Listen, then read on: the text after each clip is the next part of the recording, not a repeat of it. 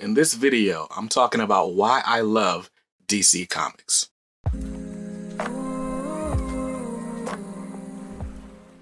What's up guys, BJ Kicks here. I buy comics, I read them, and I review them, all for your viewing pleasure. So if you're new here, welcome, and if you're not, welcome back. Now, this show is called Why I Love, where I wax poetic about all the things I love about the comic book medium. Now, I know on YouTube, it's really, really popular to like just rage on about the things that you hate and to get a bunch of people like to hate things because you hate them and so on. And this series is kind of my answer to that. As opposed to giving a bunch of energy to things that I don't like or don't want to see, I would rather share the things that I love and, you know, galvanize my audience behind that, right? Like bond with people online over things that we share that we love, not things we share that we hate, because that's just whack. And this is a whackness free zone here on the BJ Kicks channel. So today, I'm talking about why I love DC Comics. Now, before I get any further into this, I have to say on this channel, just in case this is your first time here, I talk about comics a lot. I buy them, I read them, I review them. So you'll see haul videos, you'll see in-depth reviews, you'll see discussions and live streams, we do giveaways, all that type of stuff. So if you're interested in that type of content, hit the subscribe button, then hit the bell icon so that you're notified whenever I post new videos. Now, now that all that's out of the way, I want to start off by saying this is not an I hate Marvel video. First of all, if you've been watching my channel for any amount of time, you know I can't hate Marvel because I love Spider-Man and I love the X-Men, as evidenced by this little wall over there behind me, right? So I'd certainly enjoy Marvel Comics, um, and we'll talk a little bit about what I feel are the differences between the two publishers. Um, but this video is specifically about why I love DC. And maybe instead of calling it why I love DC, maybe this is how I fell in love with DC or how I got into DC Comics and why I haven't left. So I actually wrote down a list of things that I love about DC Comics just to keep me on track. Uh, but we'll have to talk about how I got into DC Comics. And really, the first reason I love DC Comics is it's pretty obvious. Batman, Batman, Batman. My favorite character in comics is Batman. Like bar none. Like if I had to stop reading every comic book ever except one title, I would read Batman. And it's it's not even close, right? Like you guys can see the omnibus behind me. I've got so many Batman books it's not even funny. But anyway, so if I could only read one character at a time, or for the rest of my life, it would be Batman. And that's pretty cool because Batman honestly has enough stories. Like, it's a running joke in the comic community that there's like 18 Batman titles at all times. Like, there's almost always three Batman books that end up in my pull list every week. So there's definitely some Batman overload. But anyway, because I love Batman so much, that brought me into the DC universe. I wanted to know more about these other characters, and it kind of spreads into the next point, right? As much as I love Batman, that love for Batman comes from the Batman animated series from the early 90s. Um, and I love that series. And that series marks the start of the DC animated universe, the Bruce Timmverse, as some of us call it. Um, and that series, I mean, we had Batman, we had Batman Beyond, we had uh, the Superman, the animated series, and that all uh, split. We had Static Shock that technically took place in that same universe. Um, we had uh, what was it, Justice League, and then Justice League Unlimited, and then a bunch of DC animated movies that all spawned from this Batman the Animated Series universe. And they're all really, really good. Like, I love going through and watching old Justice League episodes. I love watching old Justice League Unlimited episodes on HBO Max. Um, I had the DC Universe app when back when they were the only place to like stream all that stuff in one place. And I love it. And so because I love animated uh, series and movies so much, DC just has a huge library of animated movies. Marvel has some. They're not as good. Uh, and the Marvel animated series are kind of all over the place. There's like 18 Spider Man series in the last like 10 years. Like it's crazy, right? But I loved, you know, the DC animated universe and specifically their line of movies that they kind of dubbed the New 52. So there is a full continuity extended universe um, that kind of starts with this Justice League origin or Justice League War movie and goes on and on and it kind of adapts a bunch of different stories from the comics. What I love about the DC animated movies is that for the most part, they're pretty faithful to the comics that they, you know, are adapting. So, if you like the DC animated movie, chances are you're going to like the comic. And that is exactly what's gotten me into DC so much, right? Now, we've talked about the DC animated universe, and that's one of the reasons I love DC Comics. Um, now, let's talk about kind of like just going from comics and other, or excuse me, going from TV shows and movies and other media to the comics that kind of inspire everything, right? What I love about DC Comics is that when I was a new reader, and I still consider myself a new reader, I've only been in comics about two years, right? And so the way I would try to get into comics is I would search, you know, top 10 this universe stories or this character stories, right? And you'd find all these rundowns on YouTube. And what I love is that DC has an amazing collection of easily accessible stories, right? For any character that you can name, somebody is going to tell you, oh, pick up this trade paperback. It's a great story. It's a short story. It'll tell you everything you need to know about the character, right? And I've got some in front of me, right? So this is uh, JLA Tower of Babel. Now, this uh, book was adapted into the movie Justice League Doom. And it's just a great story uh, showing the ramifications of Batman keeping contingency plans against every member of the Justice League. Very cool, right? We've got Green Lantern Rebirth. I'm not a big Green Lantern fan, but this tells you everything you need to know about Hal Jordan. This reiterates that Hal Jordan is the greatest lantern of all time and gives you some other lore to hang on to. If you like are excited about it, Geoff Johns started his run with this, and so you can go a lot deeper after, right?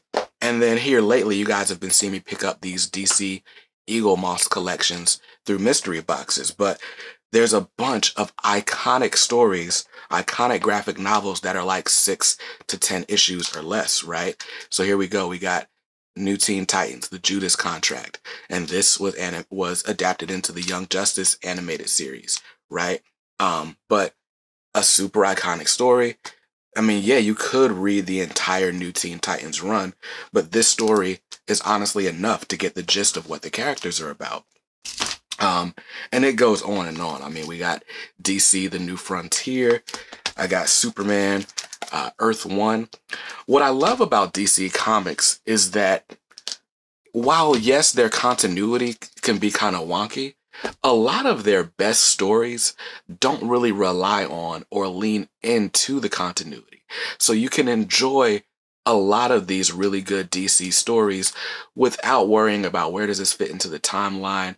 Does this person really exist anymore or did they exist back then or could they have right? And i can name so many stories. The killing joke more recently three jokers right? There's so many stories. When i was looking to get into marvel characters and the reason i stayed away from marvel for so long even when i had a monthly pull list is i just did not know which books I should have been reading. I didn't know what mattered, right? When I got to the shop, there were like four different Spider Man books. There was a Spider Man book based on the video game. There was the current Amazing Spider Man run. There was a Friendly Neighborhood Spider Man. There was Spectacular Spider Man. And there's Spider Man. Like, there's so many Spider Man books. And so it's like, well, if I watch Spider Man on TV, which Spider Man is for me? And a lot of people can't necessarily answer that. What I've noticed is that when you ask someone about great Marvel stories, they will suggest to you to read a particular run of a story. And a run is like a, a run or a a series of comics by a single writer or a writer and artist team. Runs can go 60, 70, 80, 100 issues, right? And so when I was asking people where to start with Spider Man, they were like, oh, pick up the Ultimate Spider Man. Well, Ultimate Spider Man ran well over 100 issues. A lot of them are hard to find. It's not easily collected. There's like 20 trade paperbacks. And there's not like one short, easily accessible story that people really point to because you've got to know so much about continuity, right? You can't just read the death of Gwen Stacy. I mean, you could, but you want to know why Gwen, Gwen Stacy is so important, right? So there's a bunch of stuff that you have to know in order to kind of keep up with Marvel Comics. The exception to that, at least from what I've seen, is the House of X and Powers of 10, this new jumping on point for the X Men. Um, and that's part of the reason I'm such a big X Men fan now, is because I just happened to come in at exactly the right time. Um, but anyway, this isn't a why I don't like Marvel, because I do love Marvel. But uh, DC just had so many uh, good jumping on points for me as a new reader. Um, in 2011, they had the new 52, where they basically restarted every book from number one. Eventually, continuity issues kind of plagued that series and it kind of fell off the rails. And so then they did Rebirth, where they still kind of did like a soft reboot of everyone in the universe. But for me, as a newcomer to comics in 2019, it was very easy for people to say, oh, we'll just start with Rebirth number one. And because DC had their stream, their uh, yeah, their streaming service or their uh, their subscription service, I could go back and kind of pick up a number one you know, and get into a character or not based on that number one or that first kind of six issues. Well, Marvel doesn't have those same jumping on points. Apparently, they started it with Marvel Now, but kind of abandoned it. Abandoned it. Uh, the Ultimate Universe was supposed to be something cool to get people into it, but they abandoned that. And so much of it is like so tied into continuity that it's just it's difficult for me. It's difficult to get into some of the older or classic Marvel. A lot of times it feels like, so yeah, with Marvel, a lot of times it feels like, you know, you had to be there when it happened in order to enjoy these stories. Um, or you got to pick up the omnibus. I, I literally have like six, seven X Men omnibus because someone said, well, you got to read the Chris, Chris Claremont run. And Chris Claremont's run was like 30 years on X Men, right? But because I feel like I'm an X Men super fan, I'll make that investment. Most people wouldn't. So that's one thing I love about DC. Um, easily accessible stories, whether the cla- they're the classic material that you have heard about time and time again, or even the new ongoing series, they have easily or they have easy jumping on points. And that's super important to me as a newer reader. Now, the last reason that I love DC Comics, and this is going to be a more DC versus Marvel thing, right? I feel like DC Comics has more compelling characters, even though Marvel Comics tends to have cooler characters, right? Like when you look at DC Comics, a lot of times their characters, they kind of just dwell in these classic archetypes, right? You've got the strong silent dude who has questionable motives, right? You got Batman, you got Superman who represents like fear or excuse me, hope and light, right? You got Green Lantern who represents will and the absence of fear or courage, right? You've got Diana, Wonder Woman, who just represents like bravery and passion. Um, and then, you know, that touch of femininity, right? And you've got these really iconic characters. You've got these really comp- compelling and classic characters who can kind of teach you lessons every single time they step out, right? When I read a good Batman story, I like I feel like I'm learning to use my intelligence and to never give up and to always be persistent, right? Same with Superman. Like Superman as much as he's like this big strong dude, he's not always using like his toughness to get through. And what really appeals to me about Superman is how in touch he is emotionally and how compassionate he is about the people that he's protecting, and so on and so on. A lot of times when I'm reading Marvel stories, I'm not like taking away lessons from them. I don't, it's not like when you when you read like a nursery rhyme to a kid and there's a moral to the story. A lot of times when I'm reading Marvel books, it was just a cool thing that happened, right? I'm loving Donny Cates' Venom run, right? I've been reading up on that. I think I'm like 18 issues in, but it took all the way up until issue, I would say 16, for me to care emotionally about what Eddie Brock had going on with him and his son or brother, whatever you want to call him. And I don't want to spoil anything, so I'll leave it there, right? The rest of the book was just Venom doing cool things and interacting with Eddie in interesting ways, right? And so a lot of times when you pick up Marvel comics, it's like, yo, look at the powers that dude has. Look at Wolverine slicing up people, right? Look at that that thing that they did over there but it's not necessarily like a story that you take away anything from. It was just entertaining while you read it. And so I love DC Comics because, yes, they're entertaining, but I feel like there's always something to take home from it as well. So, those are all the reasons that I love DC Comics. Now, if you have a rebuttal, if you are like, yeah, all that's true, but these other publishers have this going on too. I definitely want to hear about it because, like I said, we're here to talk about what we love and hopefully tell other people or get other people on board with the things that we love too. I hope nobody took this as me railing on Marvel Comics. I have just as many Marvel comics as I have DC comics. I'm just telling you what I love about the DC books in my collection. So I hope you found this video helpful as far as stories if you're wanting to get into DC comics. There are so many. Um, I'd recommend starting with any of the books that I just showed you uh, real quick.